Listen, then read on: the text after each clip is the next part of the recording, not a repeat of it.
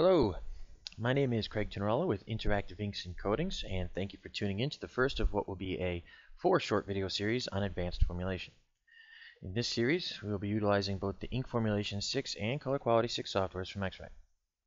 In this first video, we will be setting up a surface print job in Color Quality 6 from a previously printed customer supplied sample and adjusting our job settings to fit our customer's required quality control procedures. In video 2, we will switch to the ink formulation software to create basic materials and establish applications. Then, utilizing ColorNet, we will generate and correct formulas from the references we created in Color Quality in video 3.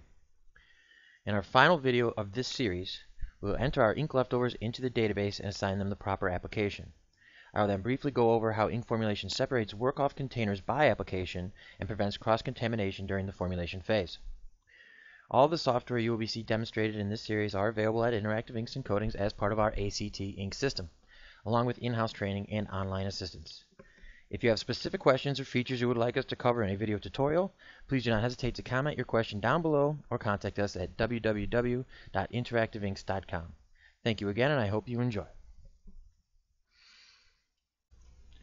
Alright, let's go ahead and get started in color quality.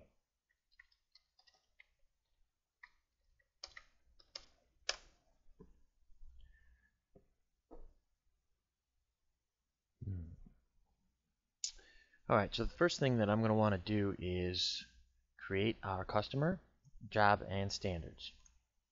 So this will be a new customer. We'll go new. And I'll say this is Jane Doe. It's going to be our new customer. Okay. I'll close here. Now that I've created my customer, I want to create my job.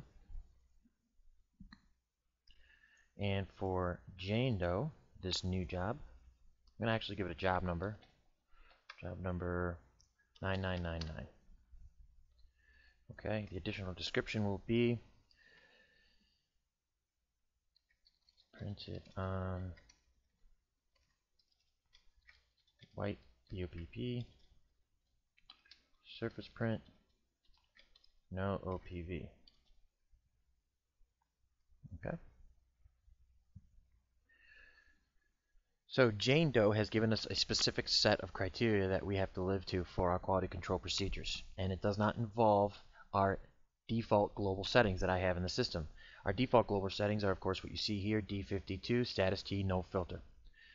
Jane wants her quality control procedures to be D50, 10 degrees, okay? And she's not going to use DE CMC. So let's finish up here. Now let's go ahead and start by adding our references. These are actual printed standards on white BOPP from a customer. So a, another converter or another printer went ahead and printed these and now they want us to do it. So we're going to get our material here. Again, our backing is a white tile. And we will measure in our first reference.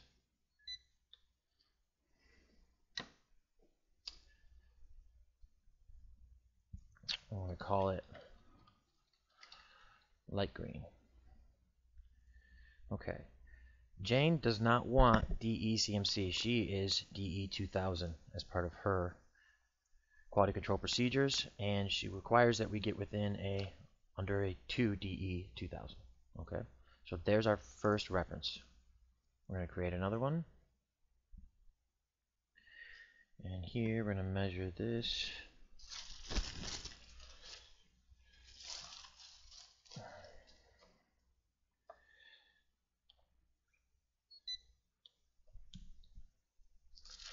Alright. And that's a deep red. Change. Notice how our settings are already uh, basically took what the settings were, the tolerance uh, from the first standard that we put in on this job, and put it on our next standard. We're going to say OK.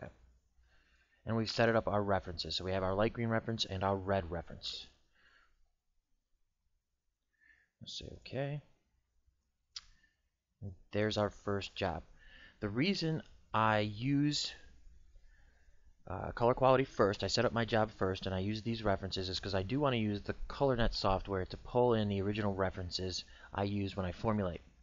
In formulation, generally speaking, you can measure one part of the substrate to another part of the substrate on a, on a printed job, and the DEs can, can switch drastically across the web. So I want to make sure I'm formulating to the exact specifications that I set as my reference. Okay, it'll be more accurate that way.